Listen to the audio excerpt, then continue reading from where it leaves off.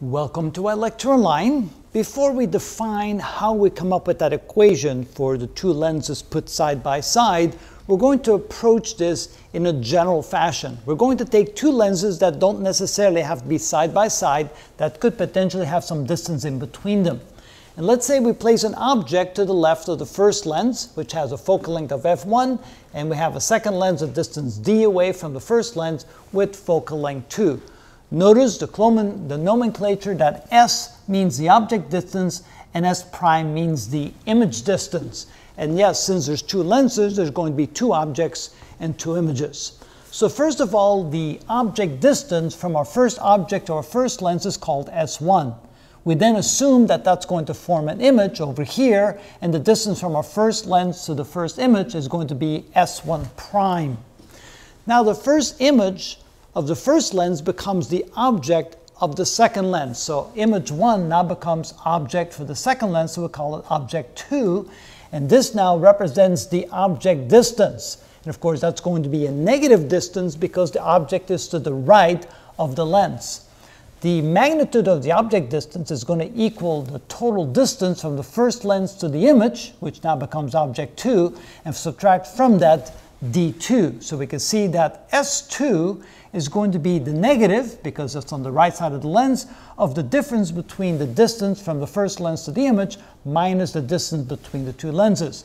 And so S2 becomes D minus S1. So now we're going to try to find the distance to the first image, the distance to the second image, and the way that's done is we use the lens equation, which says that 1 over the focal length is equal to 1 over the object distance plus 1 over the image distance. If we solve this equation for the image distance, we get 1 over the image distance is 1 over the focal length minus 1 over the object distance. Or we can put it in the product over the sum uh, methodology, and so we can write that S prime, the distance to the image, is equal to the product of the object distance and the focal length divided by the object distance minus the focal length. So using that same equation for the first image, the distance to the first image is going to be equal to the object distance times the focal length of the first lens divided by the object distance minus the focal length of the first lens. So then we realize that S2, which is the object distance for the second lens, is going to be the distance between the lenses minus S1 prime because of this negative sign right here. So then, if we find the distance to the second image relative to the second lens, that's S2 prime, that's going to equal S2, which is the distance from the object to the second lens, S2 times the focal length of the second lens divided by S2 minus F2.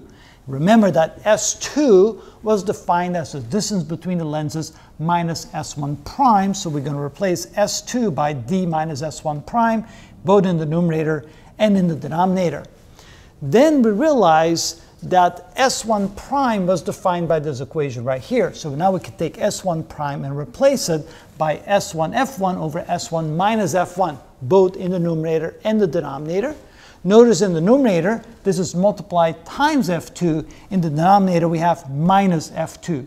Then if we clean it up a little bit algebraically, we then end up with an equation where the distance to the second image, wherever it may be, and I just happen to draw it there, this is just in general, so we're looking for s2 prime, that distance right there, is equal to df2, the distance between the lenses, times the focal length of the second lens, minus S1, F1, F2. Notice that when I multiply F2 times D, you get dF2. Multiply this times this, you get in the numerator S1, F1, F2 divided by S1 minus F1.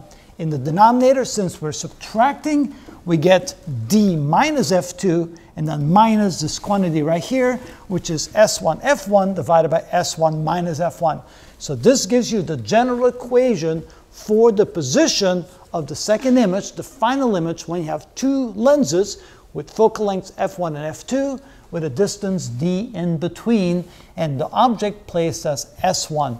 And so that's how you define the position of the final image. And we're going to use this equation now to try to come up with a general equation for the focal length of a double lens when the two lenses are together when d goes to zero. So we'll do that in the following videos.